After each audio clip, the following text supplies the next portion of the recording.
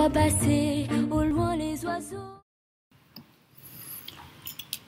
Okay, then first a little bit from my side again. Um, the one thing I want to remind you, we talked at some stage about two approaches, meaning the one is an affirmative and the other is a critical approach. So the one is there just to solve problems, solving a problem as we have it now, as we face it now. And the other is a, a critical approach, which means as well it aims on solving problems, but it is not the problem we have here and now, but it is the principal problem. Uh, so just alluding to this, you are playing with the phone. I can say there is one immediate solution. The problem, solving the problem, I take the phone away or I ask you to put it on the desk there. So that problem is solved. But a critical approach would say, why are you using the phone? It's not about just getting it out of the way now, but it is about solving the problem. Why are you using phones? Why are you not listening to me? Uh, what is the reason behind it? This would be problem solving in a long term version as well, but it would be critical about the current situation. And this is something we should keep in mind when it comes to law as well, that laws are, of course, there, and we have we come today to this, laws are there to solve an immediate problem here and now, but it is as well about developing a perspective. And for this, we have actually different laws, as I said, we uh, will come to this later. Uh, we have immediate legislation, the acts and bylaws, and we have constitutions uh, that are outlining basically a strategy for the future. If you look at your own country, if you look at uh, anybody, uh, meaning any institution, you would have a constitution that is rarely changed, and then you have permanently changing uh, legislation, permanently uh, changing uh, acts. So keep this in mind, please, when we are discussing the different legal instruments, and keep something in mind which I didn't uh, explicitly mention, but implicitly. Uh, there is one, to be honest, I don't know uh, if he was a lawyer or if he was any other uh, academic, um, writing about the history of the development of legislation of jurisprudence. And he came to this conclusion, it was really long term history, uh, in one sentence mention, mentioning this, uh, it's a movement from status to contract. Meaning, in the original state, something like this exists, we don't have really legislation. We have, for instance, a status by birth. If you are born as slave, this determines how you are treated, this determines which rights you have. And then there is something else coming later that actually status, this is his thesis, actually status doesn't matter. But what matters is what is written down in the uh, legislation, what is down, written down in a contract. Meaning your status, basically, is redefined by a contract, by strict legislation, if you want. So this is a very important thing, but there's always a but, or usually a but. But there is another movement which I would call from static to movement to context. Meaning you have written down these static rules of a law And the law is somewhat static, you, you don't change it every day. So you have something written down, and yet then you can uh, you, you come you um, come up not with a contract, but with a context and with context. You, you renegotiate what it means. You have a general law, a contract, but then you try to figure out what, what does it mean. You, you still use power, you still use your status. Uh, so, in general terms, again, you have this movement of, of jurisprudence uh, on the two sides in the two ways. and I said as well, we are bound in legislation, in jurisprudence, uh, to moral settings, to moral settings, to social settings, to power relationships. Whatever is written down in the law, men are born free and equal, is not the entire truth, but as George Orwell said, uh, they are equal, but some are a little bit more equal than others. So you have to, or we have to deal with this, and this makes one point very important. I read a little bit now. Um, I mentioned it already uh, from a different text, and two quotes. We cannot discuss any of these rules in abstract terms. So my thesis is and I'm not alone with it, but at the same time, it is contesting much of human rights law. There is no such thing as human rights.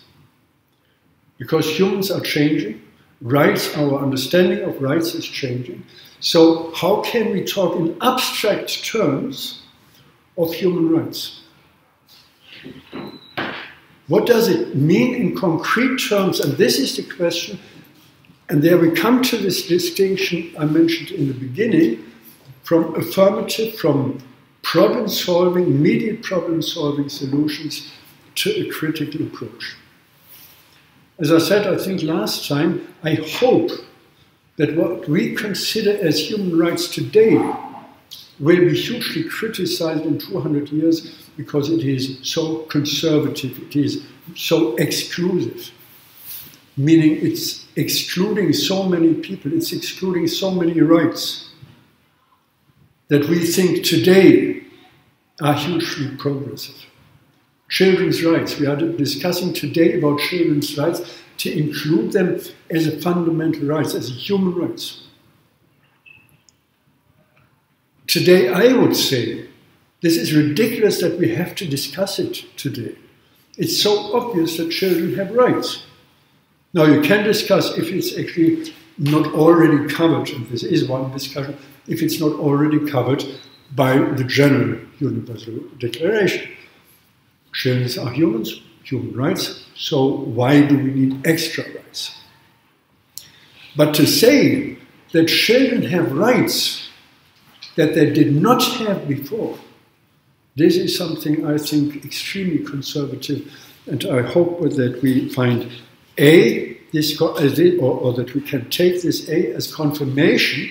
There is no such thing as an abstract right, and at the same time that we, we will be further in the discussion on human rights uh, in 50 years, 100 years, or even 20 years.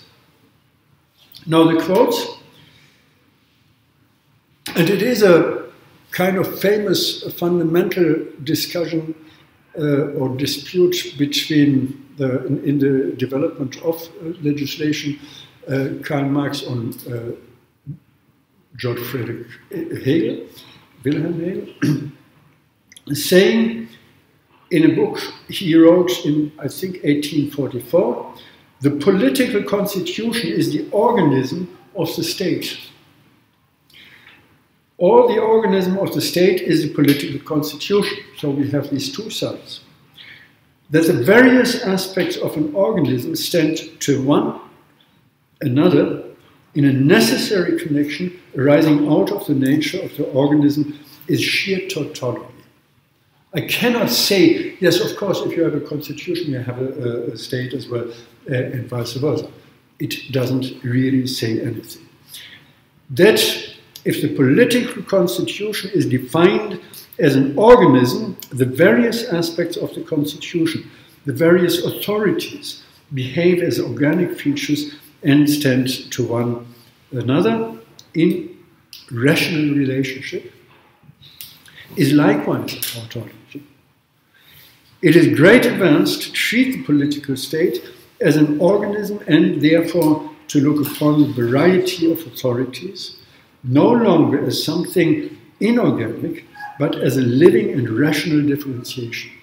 So, states, political institutions are not institutions that are kind of dead, but they are living and they are used by different organizations, different institutions as United Nations, as national governments, as municipalities, and as uh, citizens. I will send this uh, later around as a quote, and uh, just one further thing.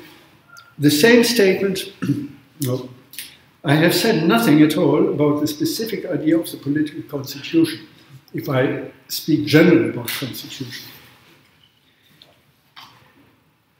The same statement can be made with the same truth about the animal as about the political organism.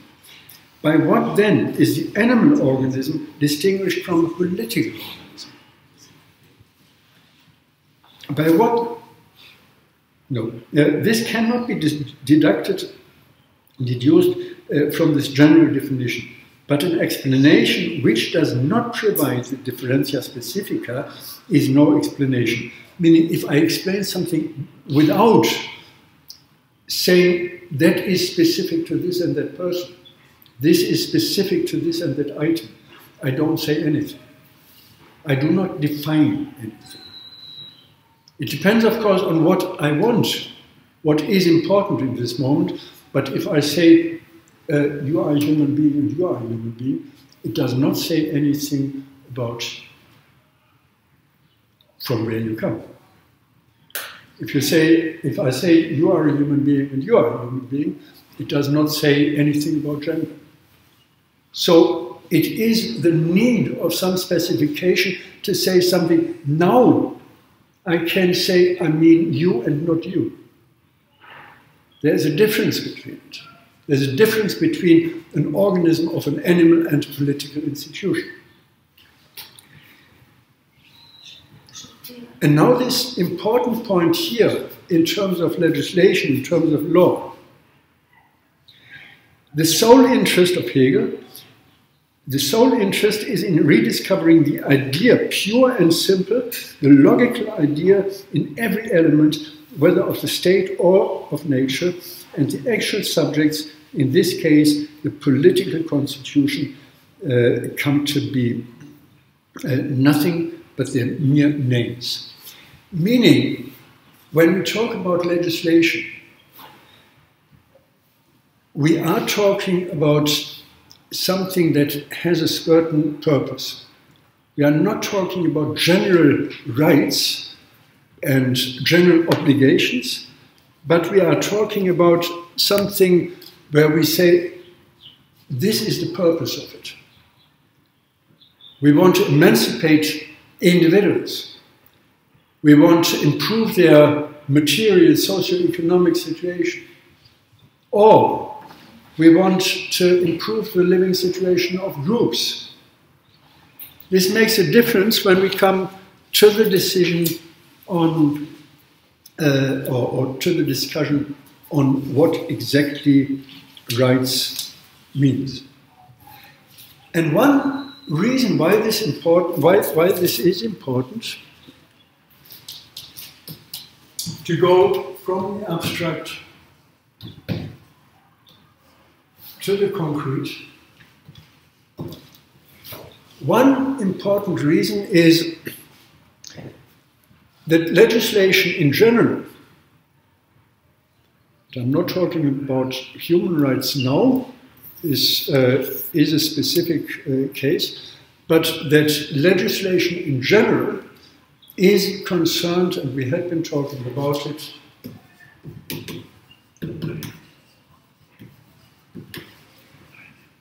With limitations. Any law, any legislation, nearly any, has one content, there we are actually in a way in an abstract level, it is limiting what people are allowed to do. Because there is this conflict between different groups, and the interest of one and the interest of the other are standing in contradiction. The interest of the murder, with the axe in front of the house, is I want to know where this guy is and kill him. The interest of the friend and of course of the potential victim is surviving. So I limit the freedom of this guy standing there with the axe. And then we are in conflict. Are we limiting the freedom as well of the person who stands there and has to tell a lie? Should we say, no, no lies at all? Or should we say, no lies at all, but under certain conditions it is possible? So the one limitation in general terms is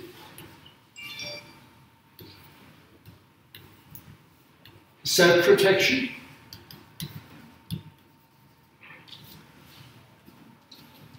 or protection of somebody, something that is weak.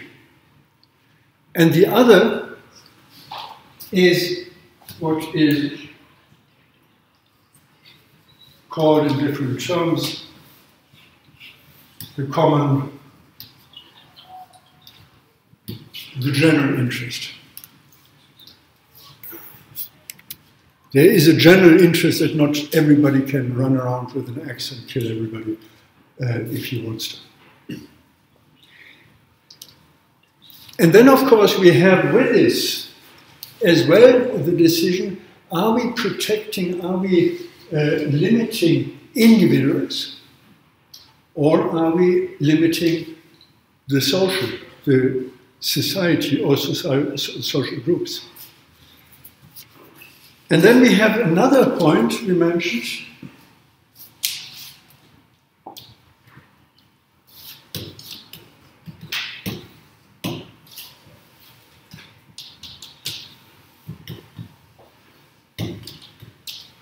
where I said there is something about justification. Why can we do it? Can we just say there's a common interest and, and that's the reason why we can uh, limit some action, or is there something else? The one I said is correction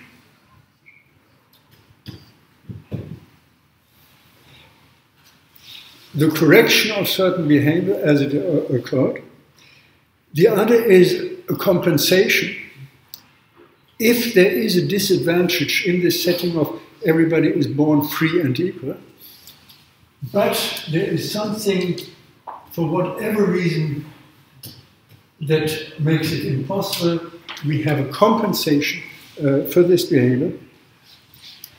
And then we have as a Last thing, if you want, the securitization.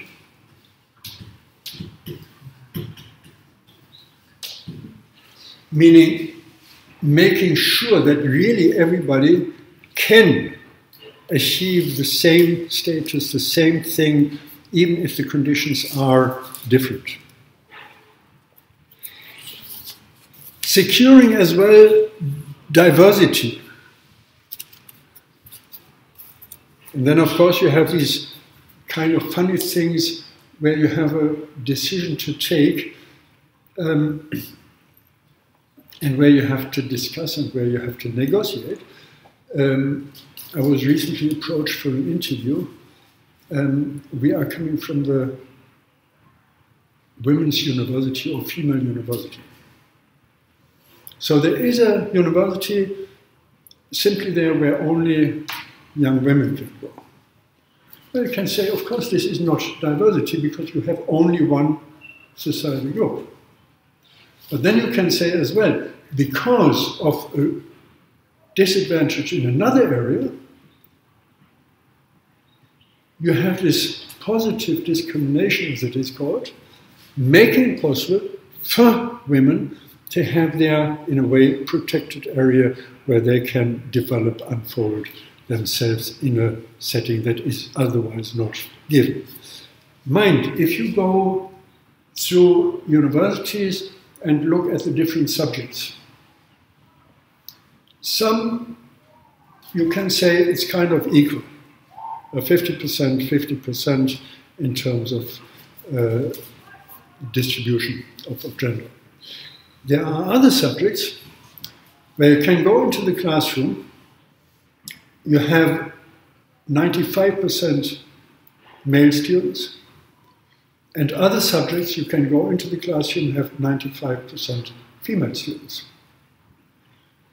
Um, of course, different from country to, to country, uh, Uh, different from, from city to city as well, from different things. But it is something that is remarkable where we have to think not in formal terms of law, because in formal terms, equality means equality, the same rule for the same people in the same subject. But it is about substance. It is about what do we want to achieve under certain conditions. And these conditions are not as they ought to be in a paradise, a Garden of Eden, or whatever, but they are given uh, in very concrete terms. And then, of course, it means as well that we have to think about what does it actually mean uh, talking about rights. And today we have a certain understanding of what it means, um, especially when it comes then to a profession like uh, law. But I said, even if we did not talk about human rights in ancient times or in older times, there had been some kind of notion uh, of right in terms of this is wrong, and we want to correct it. We want that people behave in the right way, in a correct way, morally correct. then I have this quote here from 1381, a rebel leader. It was not slavery, mind. They played something as well. We are called serfs and beaten if you are slow in our service. And yet we do not have anybody to go to, to complain. So we just go to the king, hoping that the king is there and will help us. And otherwise, we will simply go onto the barricades and take our better treatment. We claim it, in fact. So it was not about written laws or, or anything like this, but it was this moral claim we are human beings, we are serfs, fine, but still we deserve respect. And this respect means that we have some body, some institutional system, which today is the state, where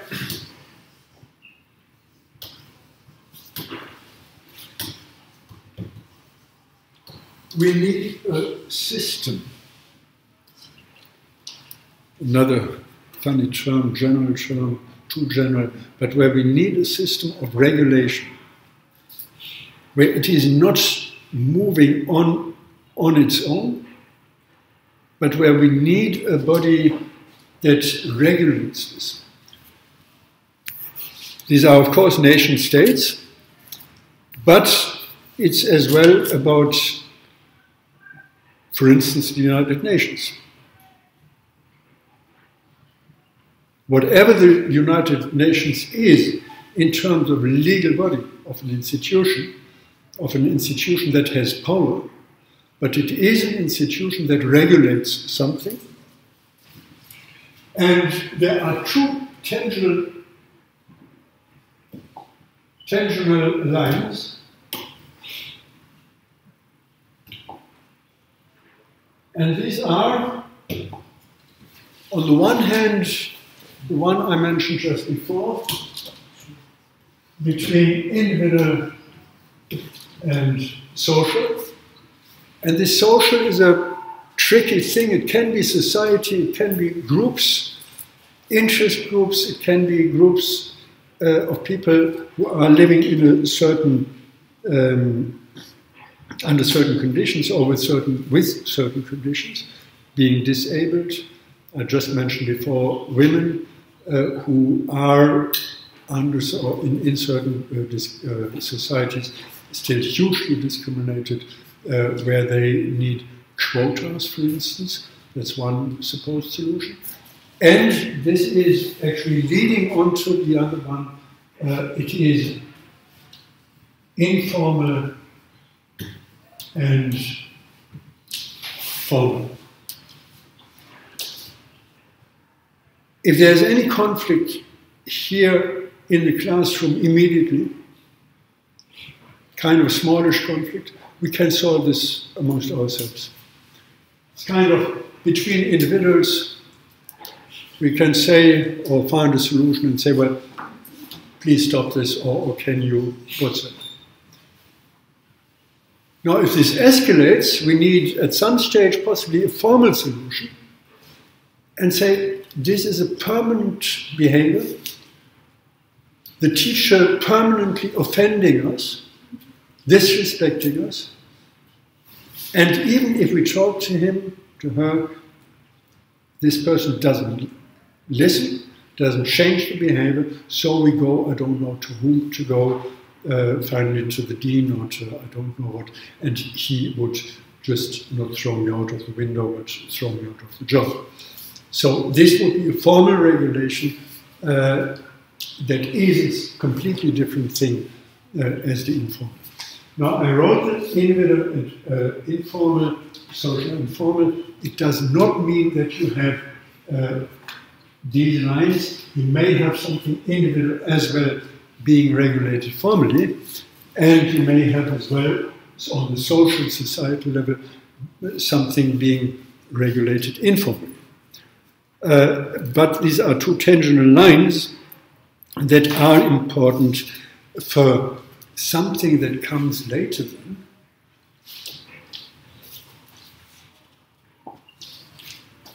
Where somebody came up, Zürn and Leibfried, to name the names. With TRUDI.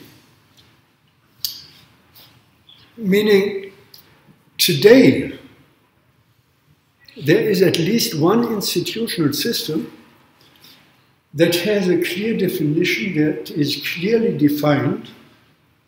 Now, mind if a social scientist, whatever kind, says clearly it is not really clear uh, in total terms, but where we have TRUDI, which is the T for the territory, We talked about the Westphalian peace, where states decided this is the border, and you have to respect this territory. You have to respect this is your country, this is the border of your country, and this is, it. So the territory, territorial uh, state And this stage has, of course, different tasks. And one of the tasks is executed, or the instrument of it is, of course, exciting all of us.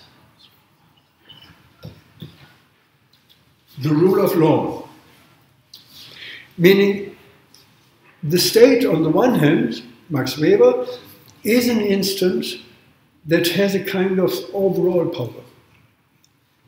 The state can say, sorry, you go to prison. I cannot lock you up. The state can. I cannot kill you. The state can. But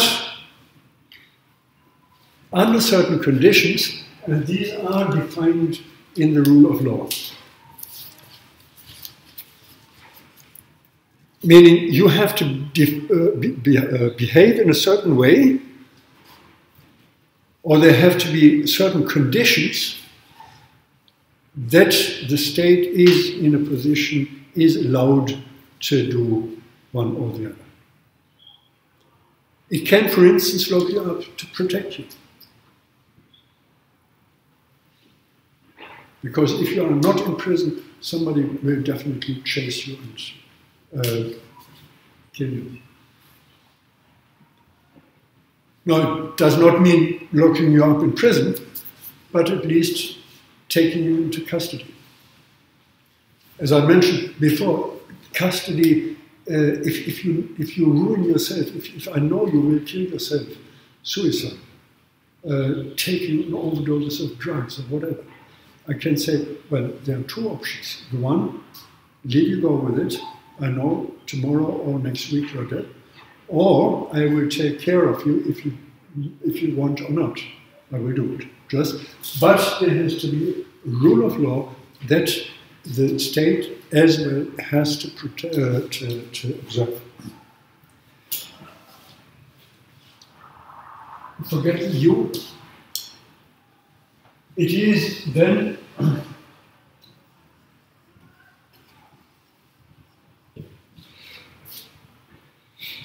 a democratic state. Again, democracy doesn't mean anything. You have different forms of democracy. But at least the idea is of the modern nation state, the territorial state based on the rule of law, is there is a democratic rule. It can be elections, it can be plebiscites, it can be different things, but there is some idea of uh, democracy.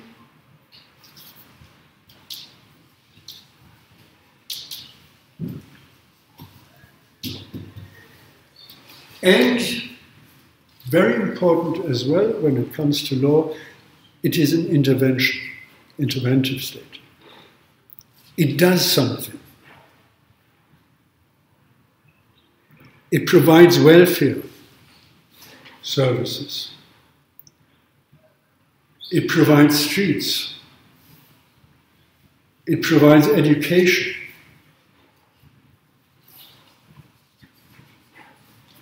And it says as well, this is another form of intervention yes, you can, but you cannot, for whatever reason. For whatever reason means, of course, not really for whatever reason, but it is bound uh, based on, on the, uh, the idea of rule of law. So this is a framework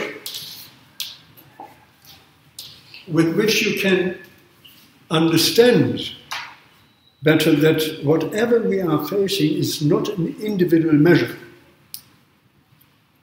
but it is a system, it is a systematic set of measures where different things are working together. At least this should be the case. And then we come back to Marx, to the, what I quoted before, this organic system. This organic system is a different one from one country to another, and we have to know, on the one hand, the more or less general rules, and then we have to know as well the specific rules.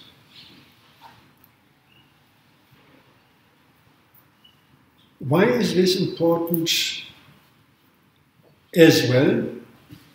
When it comes, for instance, this is a brief thing we'll talk later, uh, we'll talk next time more intensively about it, uh, human rights. We have this general, really very general understanding of um, saying something stupid. You, you don't eat your children. But at the same time, we have more specific things. Why do we say this today? Why do we have children a completely different status than they have had uh, 100 years ago or 50 years ago? And this is not necessarily, this is not about eating children, but the status of children in different societies. That in some societies you have one child, not because the law says it, but because this is the standard. In other countries you have plenty of children. And especially then in, during uh, different periods of, uh, in history. Because children at some stage had been the social security for old age meaning many children meant you have had many people to support you.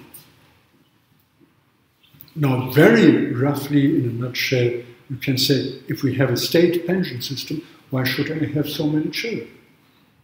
At least I would not have them as a measure of social security.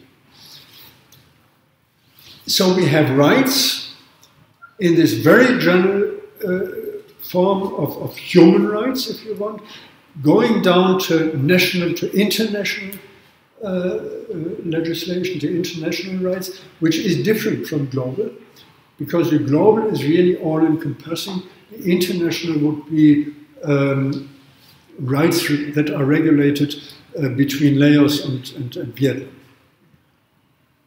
Who has the right to travel under which conditions in terms of uh, social security? What happens if you travel from Laos to Vietnam or the other way around with social security rights? This is internationally regulated. There is no overall uh, legislation for this. And then you have, of course, the different laws and exercises, uh, sometimes usually on the um, on the local municipalities. And then you have the general rules of that we I only mentioned for, to be complete there. There uh, we have the philosophical, we have the economic ways of thinking during a certain time uh, that enlighten, enlightenment came up, that uh, certain economic revolution came up, uh, and a political uh, revolution as well. Um, so th these are general trends. Um, we have to keep them in mind, but this is the background, if you want, uh, for what then is happening in terms of really concrete legislation. Concrete legislation as well, as Hannah Arendt said, um, it is about the right to have rights. And then I come back to this one. The right to have rights. You need an instance that guarantees it. I cannot guarantee your right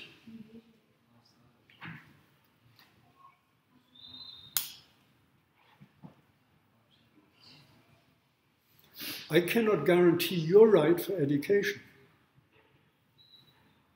Microsoft, Bill Gates, Alibaba cannot guarantee your right for education or some enterprise from your country. But the states are in this position. You can go to the state and say, This is my right, and it is written down in the Constitution it is, or it had been negotiated, and this gives me the right to have rights. This gives me an instance where I can go to the state and say, listen, you deny my right. You are responsible to provide health service. You are responsible as state uh, to provide education. You are responsible, what you said uh, at some stage, um, you are responsible to secure the road and put up signs if there's a problem with the road. And if you do not do it, whatever it means in concrete terms, then I can claim repair, I can claim uh, reputation, uh, uh, compensation. This is important in terms of establishing a system of rights, meaning we have this general movement of individual laws. Now, somebody decides in this case, this and that is the rule at least, to a system of law with the three pillars, if you want.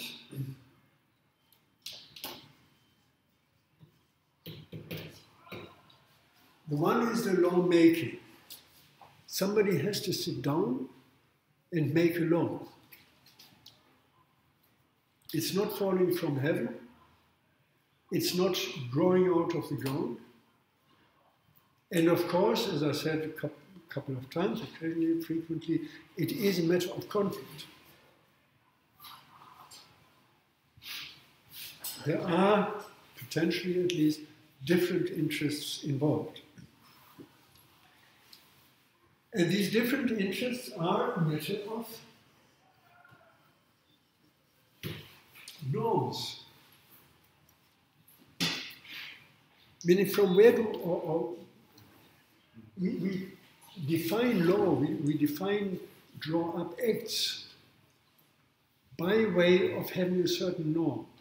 The ought to be is always playing a role when it comes to new um, legislation.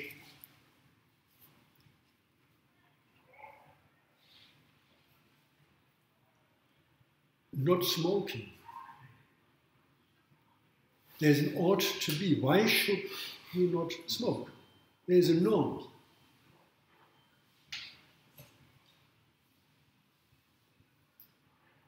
And actually, the background for not smoking is a different one from country to country. If you have this law, some people say protect the children, some people say protect the co-worker, and some people say protect the health insurance.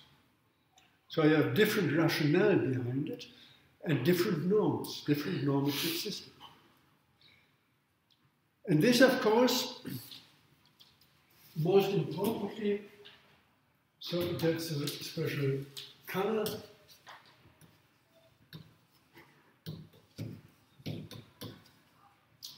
It is about production, it is about the economy. And whatever economic system we have, this determines strongly, influences strongly uh, what it means, why we orient towards a certain law. I said at some stage, or last time we, we talked about this, uh, property rights. The right to be economically active again under certain conditions. And walk along the street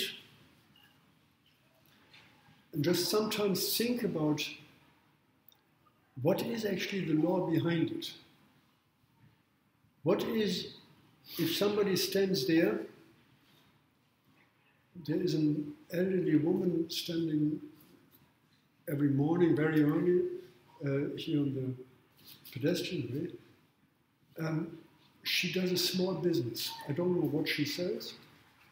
Uh, she has a scale there, one of these old fashioned things, and she sells something.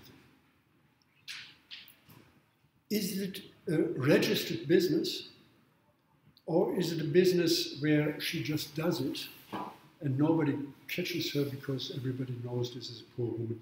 Just leave her, she doesn't do any harm. Um, so production, and then of course you have a production, this in in a more organized way, in a more complex way. And I thought about it uh, here again, uh, moving back to China. We always talk in economics about large enterprises. We talk about, for instance, in, in the context here with, with China, about uh, the production of Apple phones and all this. If you look at the amount of small shops, of small production sites, of craftswork, it is amazing. Now, coming to halal food, I don't know how large this is, but it is definitely small if compared with IKEA, who has a food section. And even the food section of IKEA, which is a furniture selling supermarket or whatever, this is larger, I guess, than halal food. So still they coexist and they depend on each other in one way or another on the level of, of, of the macroeconomic development. And this, of course, defines as well what the law looks like. Having mentioned IKEA, I don't know, they have this stupid thing here in, in. Uh, I, I, don't know how large it is, but they opened a shop in Ireland. And in Ireland, at that stage, when at that time when they wanted to open, there was a limitation to shop sizes. And IKEA said, well, sorry, this size is just ridiculous. We need a larger shop. We need, I don't know how many square meter. So what the Irish government did at the time was changing the law in order to allow IKEA to settle there, to open a shop which of course meant you have to open then for all other companies as well, opening large shops. If you want, you can say the opening of IKEA in Ireland was the opening of a new age in terms of uh, large shops, large outlets. So this is important to keep in mind that you have a law making, somebody sitting down and making a law. Politicians and lawyers thinking about what kind of law do we have already, limiting the shop size to, I don't know, what, 100 square meter. Now, what do we need, what have, do we have to make to have larger shops? But somebody comes here saying, sorry, we want a larger shop. With 100 square meter, we, we just don't come. And the norm at the stage was Ireland needed employment. So you would have this step of Ireland needs employment, gets an offer by IKEA, IKEA, we come, but under the condition that we have a larger shop and then you would have a new law. This is simplified, admittedly, but it is, in a way, how it really works. And then you have this kind of legislation in different areas. I said we have a law on shops, uh, on shop sizes, we have a law on what does it mean for uh, people working there. Um, what does it mean for dress codes, possibly? Uh, so you have a variety of, the, uh, of, of, regulations there. You have something that is going beyond, that is going beyond as well in terms. What does it mean um, in terms of social security system, of health provision, of traffic? How much car park do they need? So you have a variety of laws in different areas. And then you say at some stage, of course not on, on this level, no, but in a way, at some stage you say, this is chaotic. We have so many different laws.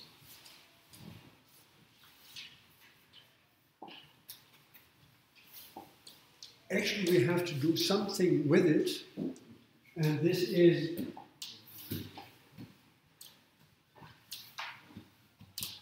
an overall codification, making sense that they are working together. In the best known way, it is the Code Civil that really encompasses the entire legislation of the country and puts, not literally, sometimes as well literally, puts all the different legislation into one place, harmonizes it. There's this stupid joke.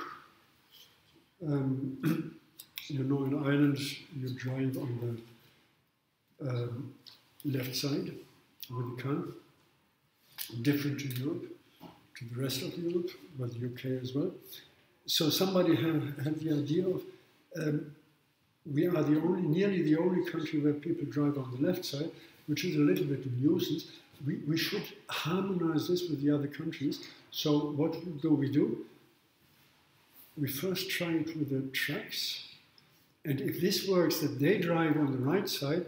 If this works, we try it with the buses, and if the buses work as well on the right side, then we try it with the cars, which is of course stupid, nonsense uh, but it shows exactly this point. You, you have to harmonize it from the beginning. You have to say, Uh, yeah, A, all vehicles drive on the left side or all on the right side.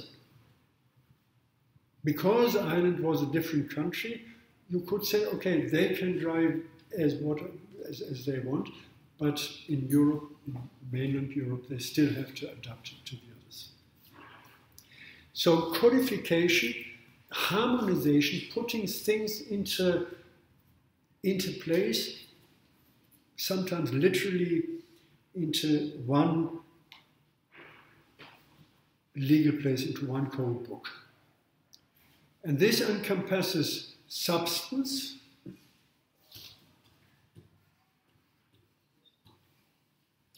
and process. And if you go to court, if you observe what, happen, what is happening there, you see not only the negotiation of a case where somebody murdered somebody else, but you see as well a certain process who has the right to speak when, who needs, who can have a solicitor, what solicitor can this be? Do you have a right for, for translation? Or do you have to look for translation yourself? So, this is procedural law as well, and it is very important. There had been this famous first codification, um, the Leges Duodecim um, tabulata, the, the, the, the Roman uh, 12 tables. This was a kind of first attempt to bring different legislation together. And it happened then frequently during history, again and again, where in most of the countries, as far as I am informed, you have certain codes and what you have, and we only uh, deal with this, although we shouldn't. Um, you have positive law. We mentioned it, I won't go into detail again. Uh, it is a man made law, it is written law, it is a codification uh, that actually commands something. This is important. It is a command law.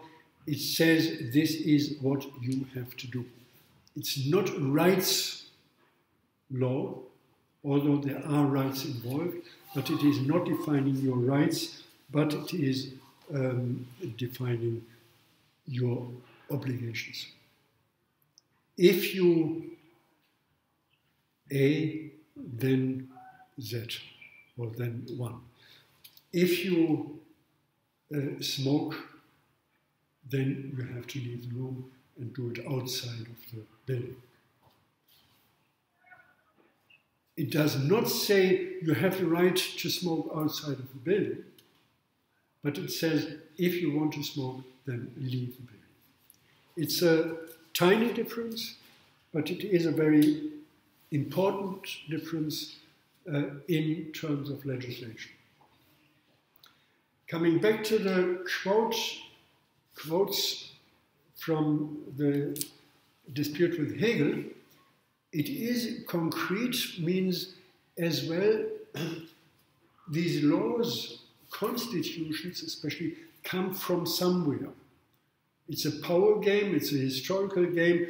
They are not invented from the scratch, but it is at the same time some constitutional process where you have actually different powers, different interest groups, kind of fighting, struggling, hearing, struggling for this should be the law of the country from now on. Of course, when it comes to new country, after a war, uh, after a war or something, you have this dispute, or you have it at some stage uh, in between uh, when people think now it's time to change something because of the social structure change, because of the, uh, the, the international position changed or whatsoever. What we have, I said, it's, cons- it's constitution it's not a contract.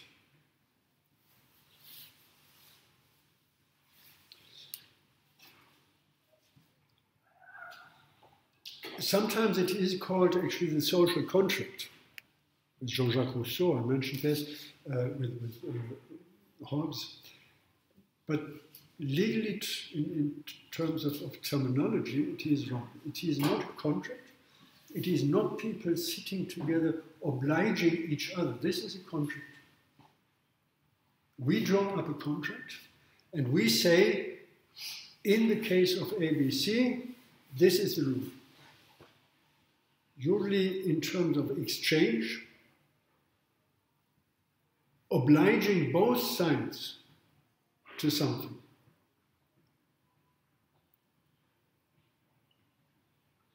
Payment, for instance, against the delivery of a service of a good.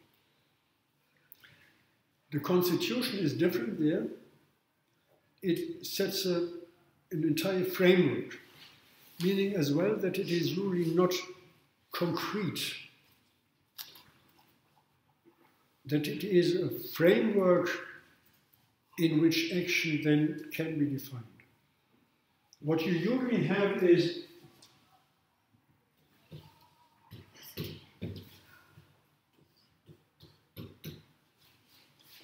the general framework in the first part of the Constitution. This is a very broad normative system. You should not break your fingers when you do this, but you can do it as long as you don't break them. Um, but then comes the more concrete part, the second part, usually, sometimes the third part, which actually says uh, in concrete terms describes the certain conditions under, some, under uh, which something happens. It is, as I said, it's not a contract, important. then you have, of course, the constitution and the treaty. Again, something different and one important part of the distinction is the long term orientation uh, against the, the short term uh, orientation. contracts are, in the extreme case, there for one single case. I give you this piece of paper, and you return it after the lesson, or I, you can keep this paper, but you have to pay me one euro. Something like this, and this is only for this situation here and now. Um, a constitutional treaty would then say uh, the teachers have to provide papers to the students against payment or whatever then.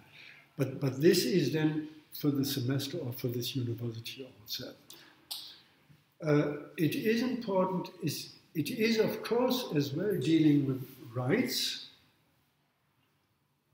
but it is as well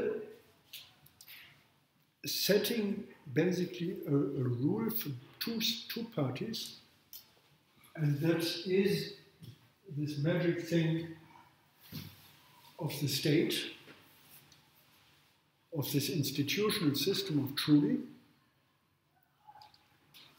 and its citizens.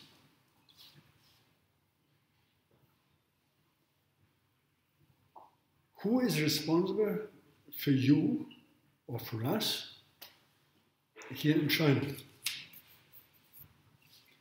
What is the role of the Chinese state? Because we are not Chinese citizens.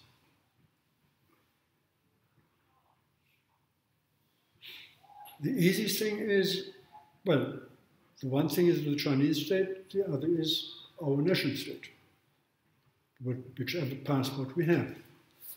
But then you have the Chinese state saying, sorry, you are not allowed simply to enter our territory and do whatever you want for your people. So that is then complicated, or actually not too complicated, because then you have the embassies of your country, and the embassy in your of, of your country is actually part of the territory of your country. That is international rule that the embassy of your country in China, the embassy of Laos in Vietnam, uh, or in France, or in Germany, or whatever, is extraterritorial, is belonging to your country and not to the country where they settle.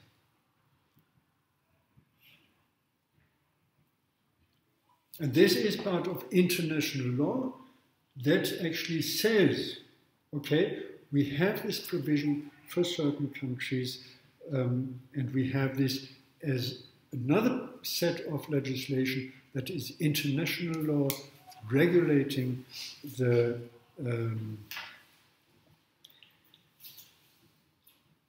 the relationship between two uh, different countries. It may be two countries, it may be different countries, uh, for instance, you have the ASEAN uh, uh, group, you have the European Union, um, you have actually quite a lot of groups, international groups that have a, a certain fixed um, relationship to each other, where we have rights of the different countries um, regulated not in treaties but this would be then international uh, law, of which the United Nations regulation is part. And I say the United Reg- uh, Nations regulation because, in stricto sensu, we do not have human rights law in the understanding of the conventions, in the understanding of the uh, United, um, the Universal Declaration of Human, Human Rights, these are not legislative acts in the strict sense. So this is something for next time. And I'll stop here now and we can continue after a short break with your homework.